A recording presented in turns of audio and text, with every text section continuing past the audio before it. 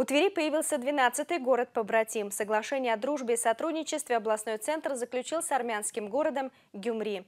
17 июля в областном центре побывала официальная делегация из этого закавказского государства.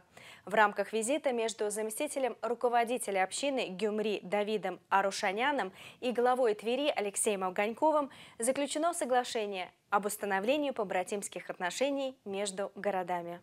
Наш город считается туристическим центром, наш город считается, ну старый город очень, считается культурной столицей, спортивной столицей. Я думаю, что и в вашем городе очень много места прикосновения с нашим городом, и наши деловые люди, бизнесмены могут между собой договора какие-то делать, и туристы могут приехать сюда. С обоих сторонах только выгода.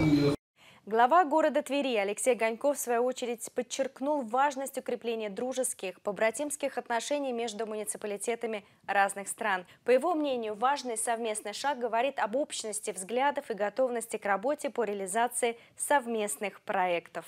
С этим городом взаимодействуем около двух лет.